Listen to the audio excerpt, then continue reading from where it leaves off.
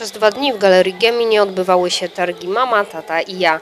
Przez cały dzień o swoich doświadczeniach wychowawczych i nie tylko opowiadała Kasia Cichopek.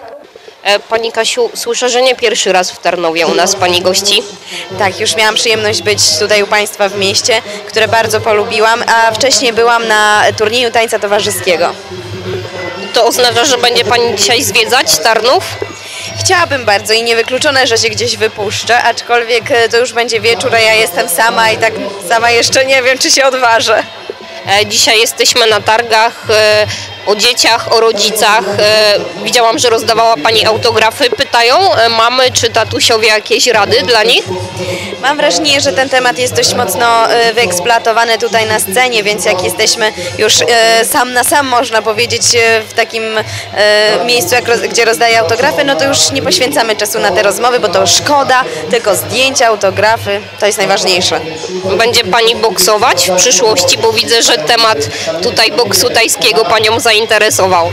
Bardzo, bo jestem mamą syna e, i już widzę, że ten mój młody e, młodzieniaszek ma w sobie naprawdę niesamowity pokład energii i tą energię w przyszłości trzeba spożytkować w konstruktywny sposób, żeby głupoty po głowie nie chodziły. Więc ja chciałabym mu pokazać bardzo szeroki wachlarz różnych dziedzin sportu i nie tylko, żeby sobie wybrał to, co mu najbardziej odpowiada. A Pani jaki sport uprawia tak na co dzień?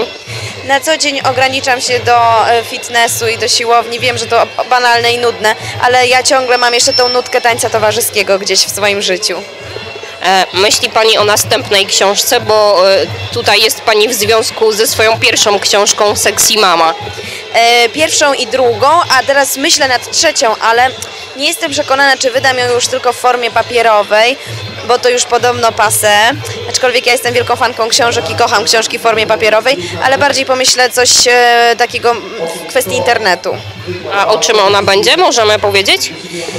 Na pewno też będzie dotykała tematyki sexy mamy, ale e, jeszcze dokładnie nie chciałabym precyzować, o czym ona dokładnie będzie. Z doświadczenia wiem, że konkurencja nie śpi, więc zatrzymam tę tajemnicę do dnia premiery. Poza tym rodzice mieli okazję zapoznać się z ofertą zabawek, ubrań, urządzeń i wszystkiego, czego potrzebuje mały człowiek. Jak się okazuje, już maleństwo może zacząć uczyć się języków obcych od trzeciego miesiąca życia. No może się nauczyć tak jak swojego ojczystego, czyli polskiego, bo ym, no my mieszkając w Polsce y, mówimy do dziecka po polsku i też cieszymy się jak ono powie pierwsze słowo mama, to jest wielkie hura. Więc tak naprawdę dziecko y, ma taką zdolność naturalną uczenia się języków w ogóle. Im młodsze, tym tak naprawdę ma większe możliwości nauki. W związku z tym można już z takimi maluszkami rozpocząć. Oczywiście jest to nauka poprzez słuchanie, czyli no jest to metoda naturalna. Tak jak uczymy się tego ojczystego języka, tak uczymy się języka obcego. Czyli najpierw słuchamy, dziecko później rozumie, co do niego mówimy i w swoim odpowiednim czasie właśnie zaczyna mówić, powtarzać te słówka. Taka forma nauki podobno ma coraz więcej zwolenników, także w Tarnowie.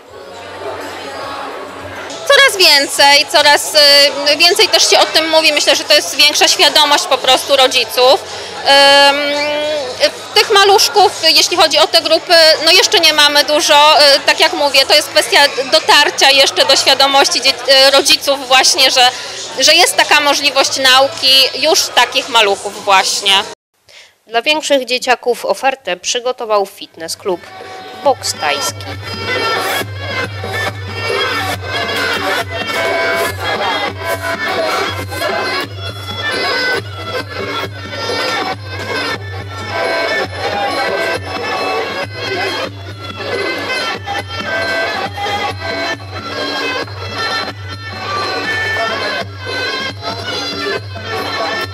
Pozdrawiam bardzo widzów tarwizja.pl, Kasia Cichopek.